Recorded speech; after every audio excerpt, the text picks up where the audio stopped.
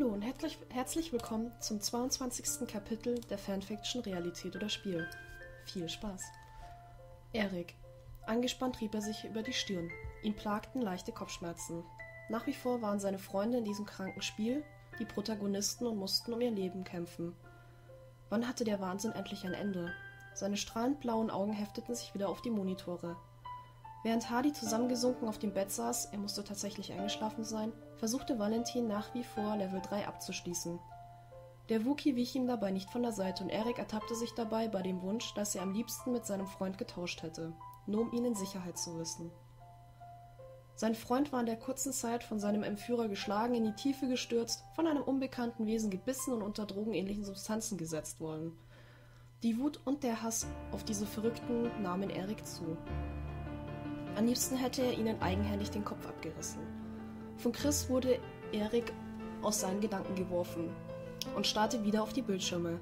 Hardy war zur Seite gekippt und lag nun halb auf dem Bett. Die Tür des Raumes öffnete sich und eine Gestalt mit Atemmaske betrat den Raum. Eine zweite folgte. Sie setzten ihren Freund auf und einer der zwei Gestalten nahm alles an sich, was Hardy bis jetzt gesammelt hatte. Als dieser fertig mit Filzen war, legten sie Hardy auf den Rücken auf die Matratze und falteten seine Hände auf dem Bauch zusammen.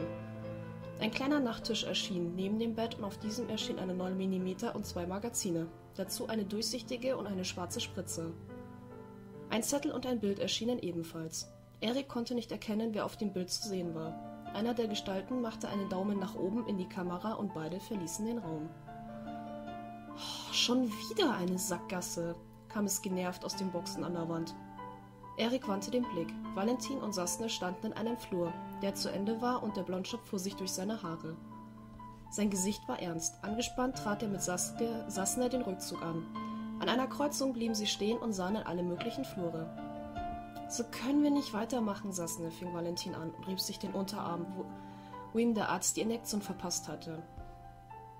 Es muss doch irgendeinen Anhaltspunkt geben. In jedem Spiel gibt es etwas, was man folgen muss, um an sein Ziel zu kommen. Das muss hier genauso sein.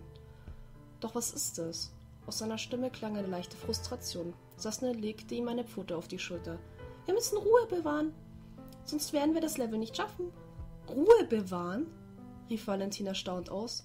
Sasne, uns bleiben noch ungefähr 30 Minuten, um den Ausgang zu finden. Hadi steckt in einem anderen Krankenlevel fest und ich kann ihm nicht helfen. Wenn wir den Ausgang nicht finden, werde ich in eine Folterkeller zurückgeportet und habe versagt. Ich kann und werde Hardy nicht im Stich lassen. Er ist mein Freund, verdammt. Beide schwiegen. Wie gut Erik Valentin nachvollziehen konnte. Ihm wäre es nicht anders gegangen. Er sah zu, wie sein bester Freund gefolgt von dem Wookie einen der Flure betrat und weiterlief. Wieder eine Kreuzung. Zum Erstaunen aller setzte sich Valentin mitten in der Kreuzung im Schneidersitz zu Boden und schloss die Augen. Was macht mein Freund da? Vielleicht ist es nicht etwas, was man mit den Augen sehen kann, sondern mit etwas anderem, überlegte ihr Freund mit, fast, mit den faszinierenden grünen Augen laut und schwieg.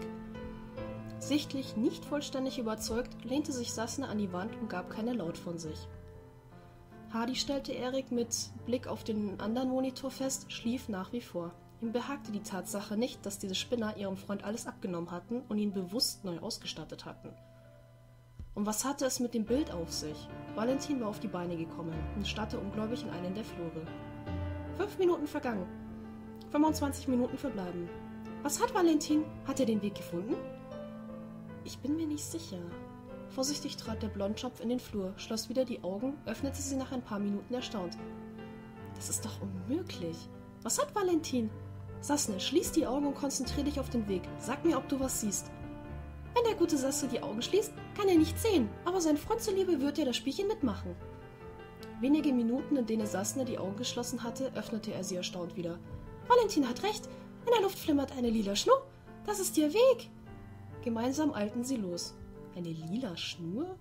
Nachdenklich verschränkte Erik die Arme.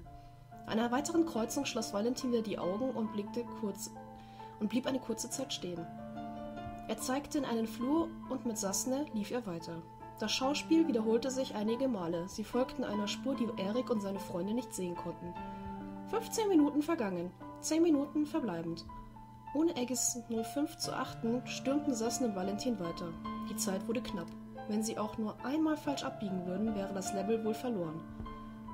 Wieder eine Kreuzung, und wieder schloss Valentin die Augen und verharrte. Sasne tat es ihm gleich. Und sich ohne Worte abstimmend liefen sie in den rechten Flur weiter. Am Ende des Flurs war eine Tür. Brammen und Manuel stießen einen erleichterten Freudenstrei heraus. Sassne wünschte seinem Freund viel Glück und blieb vor der Tür wie auch die letzten Male stehen. Valentin stürmte auf die Tür zu, drückte sie mit der Schulter auf und alles wurde weiß. Level 3 abgeschlossen. Spieler wird zu Level 4 teleportet. Das war das Kapitel 22. Valentin hat es endlich aus, Level 3 geschafft. Aber was wird ihn in Level 4 erwarten? Vielen Dank fürs Zuhören. Man hört sich beim nächsten Mal. Eure Black Sands.